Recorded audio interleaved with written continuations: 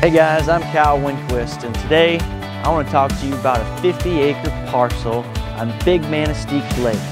Now Manistique Lake is just over an hour away from the Upper Peninsula's Mackinac Bridge. This 50 acre piece is right off a paved road and it's heavily timbered. Right now as you can see that there's an old home site on the property. Now I'm not going to say that this is going to be a fixer-upper, it may be a tear downer, but you're to have to come and see it for yourself.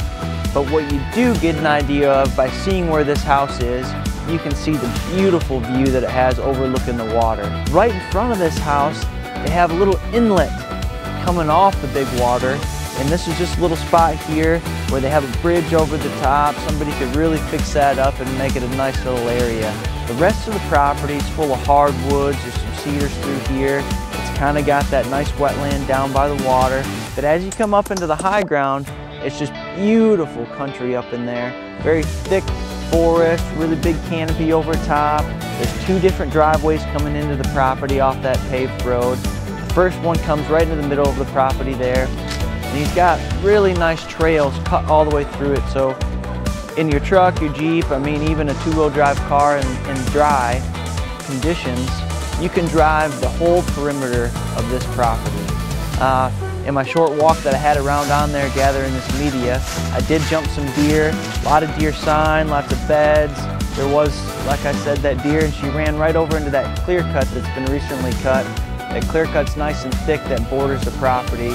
You can tell those deer really love to go back and forth from those two areas.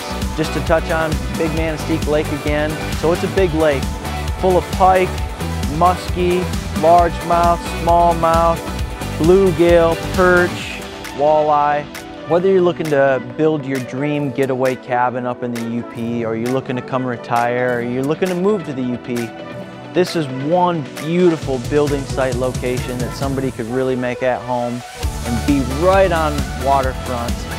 Lots of frontage. I mean, this place has a lot of potential. Awesome blueprint. You're gonna wanna come walk it, you're gonna wanna see it. It's an excellent piece. Like I said, it's right off the paved road, so how do you go wrong there?